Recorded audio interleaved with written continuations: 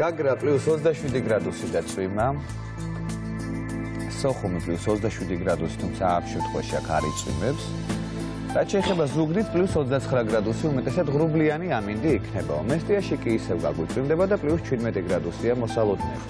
რაც შეეხება ფოთს პლუს 26 გრადუსი იქნება ეკატერინბურგისთან, ბათუმში პლუს 23 გრადუსი.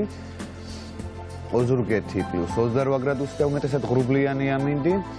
ქუთაისში პლუს 30 გრადუსი, მე მგონი ზაფხული მოგვადგა ამასობაში კარს, ამბროლაუში პლუს 26 გრადუსი და უმეტესად ღრუბლიანი ამინდი. რაც შეეხება ახალციხეს პლუს 24 გრადუსი, გადავინახოთ ახლა ბორჯომში, სადაც პლუს 21 გრადუსია და წვიმა ნალექის სახით მოსალოდნელი. ბაკურიანში ციწვიმებს და პლუს 19 გრადუსი იქნება, გორში პლუს 24 გრადუსი და წვიმა ცხინვალში 22 გრადუსი და უმეტესად ღრუბლიანი ამინდია მოსალოდნელი, სტეფანწმინდაში პლუს 15 გრადუსი. გუდაუში პლუს 10 გრადუსი და წვიმა ნალექის სახით.